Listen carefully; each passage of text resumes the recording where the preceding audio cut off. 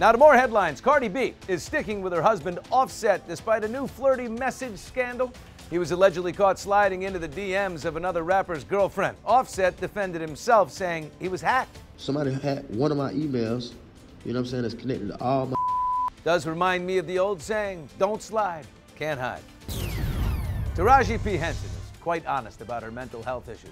In her new Self magazine cover shoot, Taraji revealed things got a little tricky when she went through menopause. She didn't realize mood swings were common. She says her therapist helped her through it. Going public is what saved her.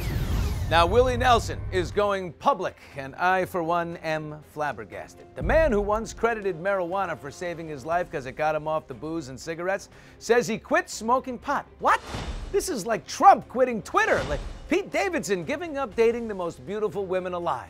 I will note Willie said he quit smoking weed. Don't be surprised if he opens his own bakery.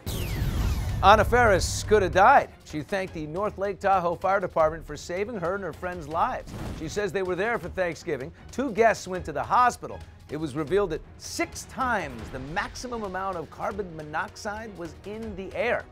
Glad she is safe, and I assume she got the refund on her house. Thank you for watching. If you want more extra, hit the subscribe button and the bell so you'll never miss a video.